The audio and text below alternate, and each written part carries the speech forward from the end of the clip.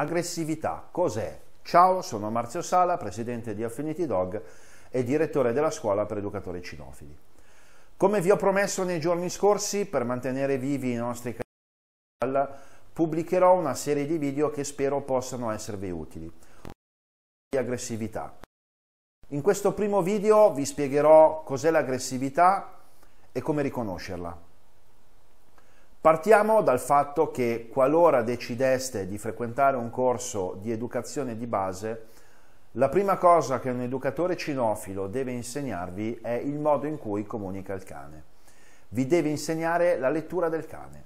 La lettura del cane è uno strumento che serve per capire cosa il cane potrebbe fare e come si sta comportando specialmente durante le interazioni con i suoi consimili.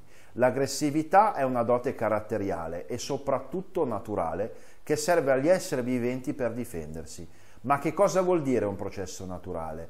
Vuol dire che è insita nel bagaglio genetico di ognuno di noi e che serve per allontanare i pericoli, per difenderci da essi. Questo impone dei processi chiari e di non usarla se non costretti. Diciamo che è come se rispondesse a un software genetico. Tuttavia essa è definita come un problema comportamentale. L'importante è riconoscerlo e intervenire prontamente. L'aggressività ha diverse sfide e genetica. Ognuna di queste fasi ha conseguenze diverse. Cominciamo a chiarire un punto fondamentale.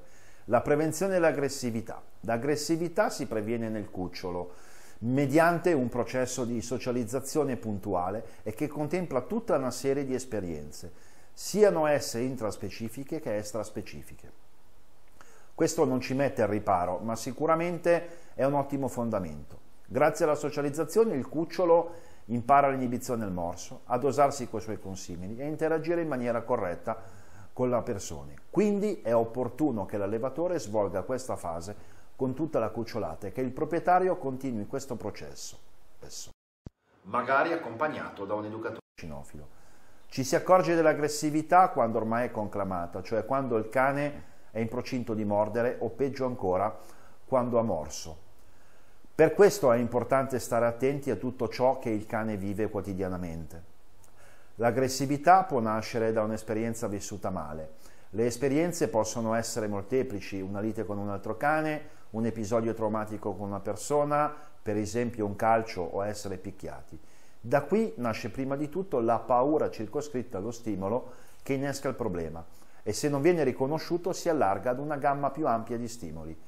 Questo processo si chiama generalizzazione dello stimolo e lo stimolo e lo stimolo è uno stadio avanzato.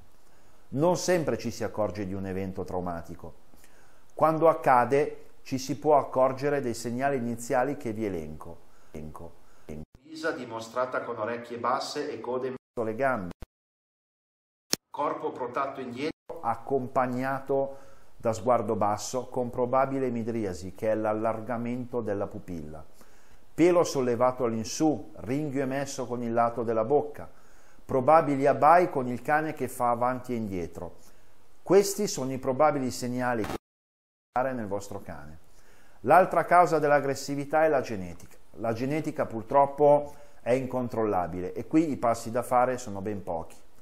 Ci sono delle razze che sono geneticamente predisposte all'aggressività, ma volutamente non le elencherò per non creare falsi miti. Quello che vi posso dire in questo caso è di rivolgervi a allevatori qualificati e che allevano una sola razza per volta. Questo parametro vi aiuterà nell'acquisto del cane giusto e soprattutto ben selezionato. Spero che questo video vi possa essere stato utile. Continuate a seguirci sul nostro canale YouTube e sui nostri canali social.